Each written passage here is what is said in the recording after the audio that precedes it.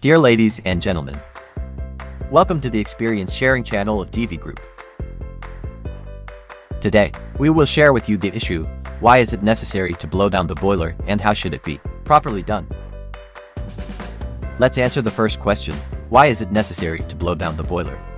As you may know, a boiler is a sealed device containing water. It receives heat from the fuel combustion process, causing the water to heat up to boiling temperature and evaporate into steam. During the evaporation process, sediment components will remain in the boiler and settle at the bottom. It's necessary to remove the sediment to prevent it from adhering to the heat exchange surfaces, affecting the boiler's efficiency. To learn more about the harm of sediment in the boiler, please watch our experience sharing video why water treatment for the boiler is necessary on DIVI Group's channel The only solution to remove the sediment is to perform frequent boiler blowdowns. We will continue to find the answer to the second question, how should the boiler blowdown be properly done? This is a boiler product designed, manufactured, installed, and transferred by DIVI Boiler, a brand of DIVI Group. This boiler has a capacity of 20 tons of steam per hour. It is a fluidized bed boiler using biomass.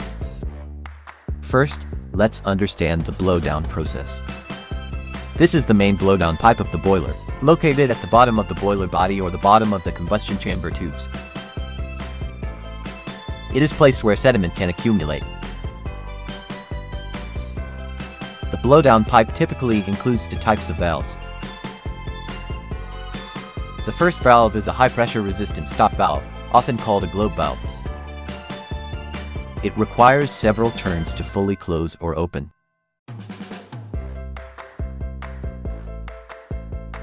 The second is the blowdown valve, often called a ball valve or a special type of valve used for blowdown. The characteristic of this valve is that it can be fully opened or closed very quickly. With this valve, a 90 degree turn will completely seal or open it. When performing a blowdown, we should follow this procedure. Step 1. Open the blowdown valve fully and quickly. Step 2. Slowly open the stop valve to let the hot water flow gradually and warm up the pipe. We should not open the stop valve quickly because the boiler is under pressure, and doing so could cause the pipe to heat up suddenly and possibly break. It's best to open it by 1 to 2 turns and listen for the sound of water hissing. Step 3. Wait for about 15 to 30 seconds for the pipe to warm up, then close the stop valve. Step 4. After the stop valve is closed, close the blowdown valve quickly. Step 5. Open the stop valve fully. Step 6. Perform rapid opening and closing of the blowdown valve in rhythm. Maintain each cycle of opening and closing the blowdown valve from 3 seconds to 5 seconds. This rhythmic opening and closing will help break up and remove the sediment. We will maintain from 3 to 5 cycles or up to 7 cycles or more, depending on the condition of the boiler water.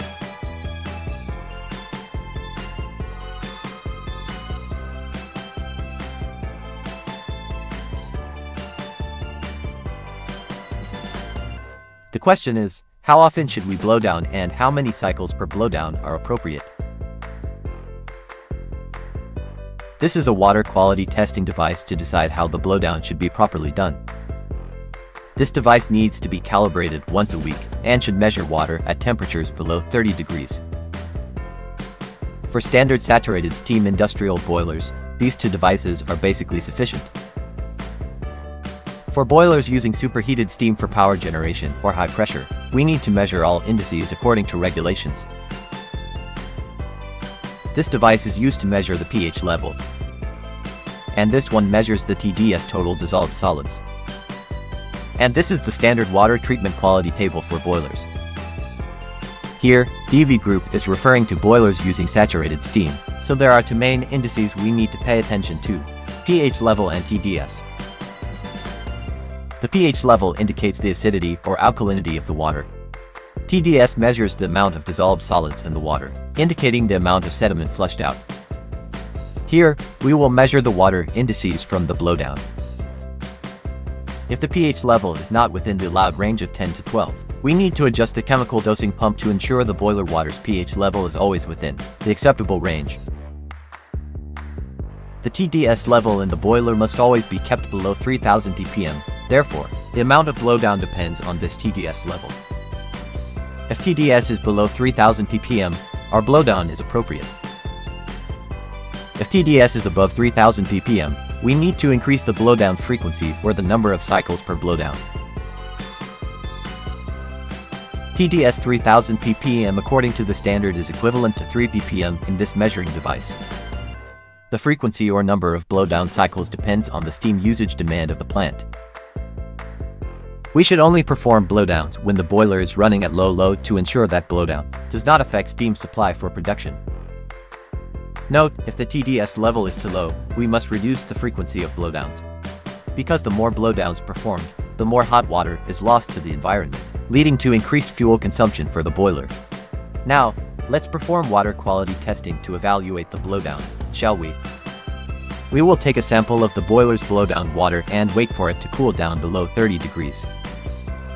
We can fan it to cool it down faster if desired. We will pour the water into two sample bottles for testing. But be careful not to fill the water above 3 centimeters, as it may damage the measuring device. Then we will insert the device for measurement, and here are the indices shown on the measuring devices.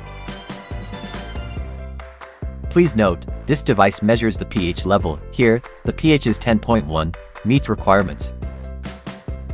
If the pH level does not meet the requirements, we must adjust the amount of chemical dosed into the boiler to reach the standard. This is the TDS level. Here, the TDS is 3.68, greater than does not meet requirements. Therefore, we need to increase the boiler blowdown. Since this is a newly operated boiler, the TDS level is still high. We need to change the boiler water several times more and increase the blowdown. Then the TDS level will gradually meet the appropriate index. If we maintain the pH and TDS levels within the allowed range and check them daily, we guarantee that your boiler will be very clean, free from corrosion, high heat exchange efficiency, and long lifespan. This is the experience sharing from DIVI Group, hoping this sharing will be helpful for those who are operating boilers. If there is anything inappropriate or questions, DIVI Group looks forward to receiving positive feedback from you. Thank you for your attention. DIVI Group, striving to bring prosperity to our partners.